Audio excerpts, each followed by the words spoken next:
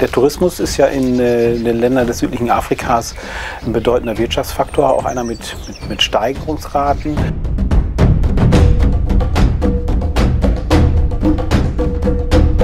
Diese Form des Tourismus ist natürlich eine, die sehr stark auf die äh, Landschaftseigenschaften abzielt, wo es um äh, Safaris geht, äh, Wild Animals, dass Exotik und Kultur kennengelernt wird, Touren mit dem Hubschrauber, Rundflüge, Bootstouren und gucken dann abends Sunsets an und ähm, nehmen dann so Gin Tonics und andere Dinge zu sich, genießen halt äh, das, das, das Leben im südlichen Afrika oder in den Ländern des südlichen Afrikas. Äh, auf der Reise, auf der Forschungsreise, die wir gemacht haben, ging es eigentlich im Schwerpunkt doch darum, äh, dass wir uns solche touristischen Angebote angucken, die quasi hinter diesem äh, Wild Animals Sunset und Gin Tonic Tourismus stecken, äh, wo der Kontakt zur Bevölkerung organisiert wird, wo es darum geht, äh, den Alltag besser kennenzulernen, äh, was das für Angebote sind, wie die Angebote funktionieren und äh, was sich die Anbieter solcher Touren davon versprechen. Ich habe Manfred auf seiner Forschungsreise in das südliche Afrika begleitet und ähm, ja, vor der Reise sind mir viele Dinge durch, die, durch den Kopf gegangen. Ich war ganz gespannt auf das, was ich da erleben werde. Ja, man hört immer Reiseberichte, dann, wenn man ins Reisebüro geht, sieht man so viele Sachen auch über das südliche Afrika. Wir haben auch hinter die Kulissen geguckt. Wir haben uns, äh, ja, wir waren neugierig und sind dann auf die Märkte gegangen. Wir haben das Essen der Menschen da probiert. Was essen die da eigentlich? Ah, das schmeckt lecker. Es macht nichts. Wir haben es vertragen. Wir konnten auch mitbekommen, ja, wie die arbeiten. Wir sind eingeladen worden in die Wohnung, um zu gucken, wie wohnen sie da, wie wohnt eine große Familie auf so einem kleinen Raum, wie organisieren die das alles, wie managen die das.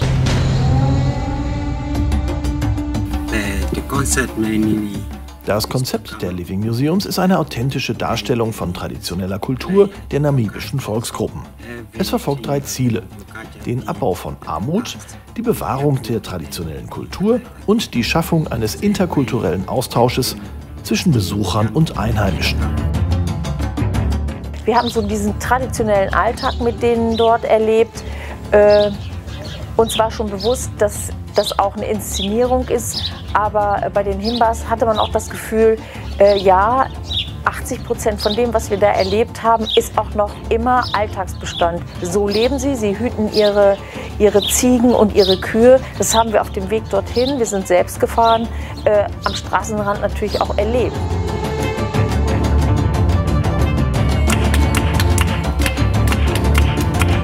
Den Touristen, so wie es uns mitgeteilt worden ist, gefällt das ganz großartig. Die sind ganz begeistert. Am Schluss kann man noch dann irgendwie so ein bisschen äh, Souvenirs kaufen. Das gehört immer dazu. Die meisten haben auch ein Campingsite dabei, dass man da übernachten kann.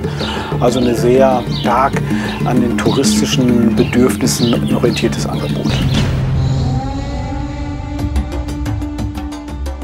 Das Interessante an den Village Walks war, dass sie häufig äh, auch zur Diversifizierung der, der Tourangebote von den Lodgen äh, dienen. Das heißt, die Lodgen machen dann Game Drives, Bootstouren, Rundflüge und dann ist aber eben auch ein Angebot immer so ein Village Walk. Und das beinhaltet meistens, äh, dass man zu einem äh, in der Nähe der Lodge liegenden Dorf fährt, da ähm, mit Bewohnern in Kontakt kommt, die einem dann ihre alltägliche Lebenspraxis zeigen. Zum Beispiel haben wir gesehen, äh, wie dann Maisbrei hergestellt wird. Wir haben eine Familie in Simbabwe gesehen, äh, die in ihrem Homestead lebt, äh, mit, äh, mit, mit, einer großen äh, Menge von Verwandten. Da wohnen dann 14, 15 Leute auf so einer Homestead. was mich auch sehr berührt hat, ist, wie liebevoll die auch mit ihren Kindern umgehen, äh, welche Gedanken sie sich machen. Sie machen sich auch Gedanken dazu, äh, welche Zukunft hat mein Kind, wie kann ich mein Kind gut begleiten, damit es auch eine bessere Zukunft hat als die Leute äh, in der Lebenssituation, in der sie sich nun befinden und äh, dem Touristen wird dann auch im Gespräch äh, deutlich gemacht, äh, mit was, welchen Lebensbewältigungsstrategien die Personen äh, ausgestattet sind, wie sie versuchen, ihren Alltag zu bewältigen, welchen Beschäftigungen sie nachgehen, welche, äh, wie sie ihren Alltag verbringen. Und diese Village-Touren ist ähm, eine spannende Sache. Kann ich nur jedem empfehlen, äh, mutig auch ins Feld zu gehen. Ja eine sehr stark, äh, also schon sehr, intensiv untersuchte Form des Tourismus ist natürlich der Township-Tourismus. Da haben wir in Kapstadt, Windhoek äh, und auch in äh, Dar es Salaam ähm, Touren ähm, besucht. Und das ist eben auch eine Tour, die äh, sehr stark äh, darauf abzielt, das Alltagsleben, die Entwicklung von äh, Townships zu zeigen, die kulturelle Komponente in den Vordergrund zu stellen, zu zeigen, wie diversifiziert ähm, das Leben und die Wohnsituationen in den Townships sind. Die Besuche in den Townships fand ich sehr spannend. Wir sind in einem Bürgerzentrum äh, gewesen, wo viele kleine Läden waren, wo auch Kommunikationsmöglichkeiten für die Leute, die im Township leben, stattfinden kann. Im Township selber äh, gab es Räume, wo Künstler ihre Kunst präsentiert haben, wo sie auch die Kunst direkt vor unseren Augen gemacht haben. Was ich dann ja auch immer spannend finde, ist, äh, die lokalen Märkte zu erleben, weil auf dem lokalen Markt kann man sehen, was die Leute essen, wie es hergestellt wird, wo kommt es her, was machen die alles, auch die ganzen unterschiedlichen Gewürze, die man hier nur schwer bekommt.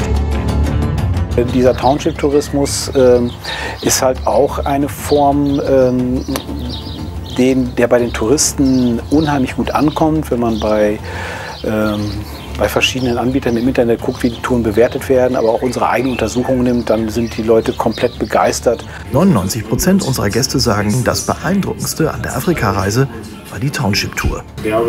Die Besucher freuen sich sehr über diese Tour. Die Besucher der Tour sagen immer, es zeigt die richtigen Gesichtspunkte der Stadt. Also so, wie die Menschen hier in Realität leben. Es ist fantastisch. Deswegen sage ich auch immer, deswegen danke ich zu Gott für diese wunderschöne Möglichkeit.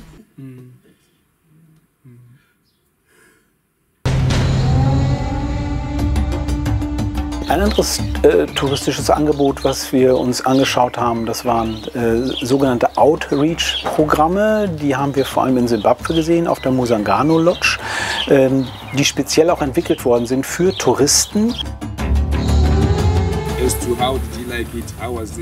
Mit dem Outreach-Programm haben wir für die Besucher von Musangano ein einzigartiges Angebot geschaffen. Es ging darum, die Leute aus der Komfortzone zu holen, die Touristen mit den Zimbabwern in Kontakt zu bringen, also mit dem normalen Leben in Zimbabwe.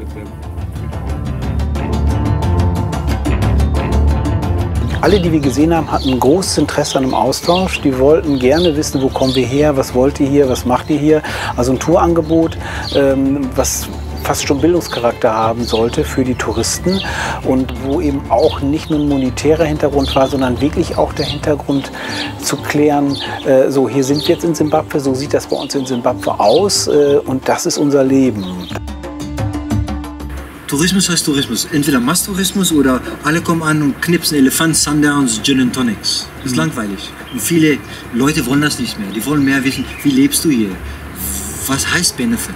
Was heißt Überlebung? Was heißt Reichtum und, und Armut? Nicht nur komm, Foto, tschüss, Geld, sondern auch Austausch. Jetzt Wissen, das Wissen.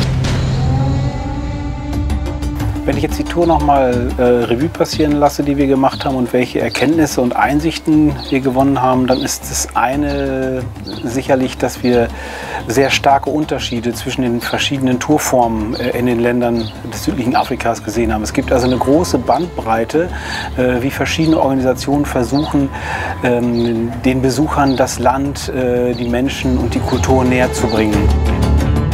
Interessant war es natürlich auch für uns, äh, die Mechanismen und Vorgehensweisen zu sehen, äh, wie die Touren organisiert werden, äh, wie bei den Besuchern der Alltag präsentiert wird, also wie die, wie die Touranbieter versuchen, Authentizität herzustellen, dass man zu Fuß geht, dass lokale Führer eingesetzt werden, dass eigentlich alle Sinne angesprochen werden, also riechen, sehen, schmecken und fühlen und dass dadurch ne, ne, ein sehr starker Charakter entsteht, wie diese Touren bei den Touristen ankommen.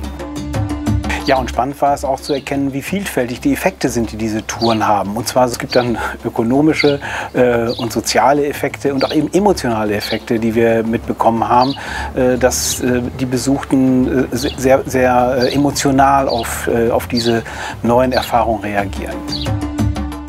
Ja, schließlich konnten wir bei den Touren und bei unseren Analysen auch gut erkennen, äh, wie dieser Community-Based Tourismus äh, funktioniert. Denn natürlich wird durch die Touren äh, die Teilhabe am ökonomischen Leben verbessert, aber der Verdienst oder das, was dabei herauskommt, ist in, in monetärer Sicht natürlich sehr gering und nur ein kleines Zubrot für die Guides und deren Familien.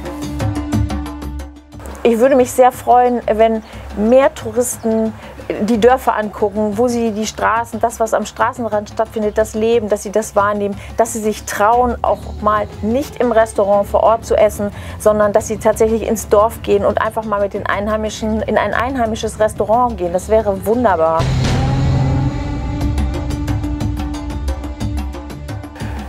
Zum Beispiel die Frage nach den Wirkungen der Touren auf die Identität der beteiligten Akteure und der jeweiligen Gesellschaften, die, die besucht werden oder die besuchen. Äh, was, macht die, was machen die Touren mit uns und äh, was machen die Touren mit den Personen, die besucht werden? Ja, und kann man eigentlich das, was wir da gesehen haben, noch als Tourismus bezeichnen? Ne? Ist das, äh, und wenn das kein Tourismus ist, was ist es denn dann? Ist es dann Bildung, soziale Arbeit oder Entwicklungszusammenarbeit? Und äh, eine bislang noch gar nicht untersuchte Frage ist auch die, welchen Stellenwert äh, diese zum Teil sehr intensiven körperlichen und emotionalen Erfahrungen äh, bei der Herstellung von Authentizität äh, haben. Also an welchen Stellen der Tour bekommt man eine Gänsehaut? Wann ist man als Tourist gerührt oder wann ist man traurig? Welche Atmosphäre wirkt, wirkt an welchen Orten Daten wie auf unsere Wahrnehmung? Und bei solchen Fragen stehen wir noch ganz am Anfang der Forschung. Das Schönste war, dass diese Menschen mir so offen begegnet sind und ich denen auch offen begegnen konnte, selbst mit meinen Vorbehalten oder meinen Ängsten, die ich vielleicht vorher ein Stück weit hatte.